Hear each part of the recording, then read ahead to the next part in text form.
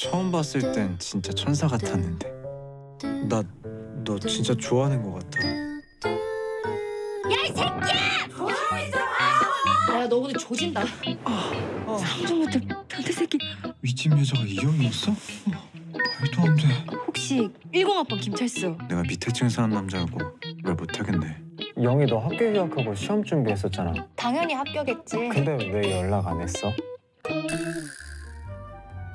저 여자 이번에도 시험 떨어졌다.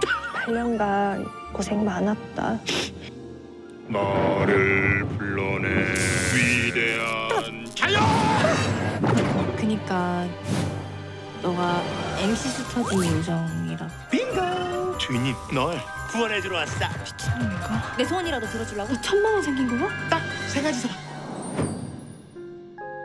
진짜 원하는 게 뭔지 곰곰이 한번 생각해봐 이것마저 포기하면 진짜 바닥일 것 같아요. 뭘 원하는지 모르겠어. 음악 그만두라고만 하지 말아주세요.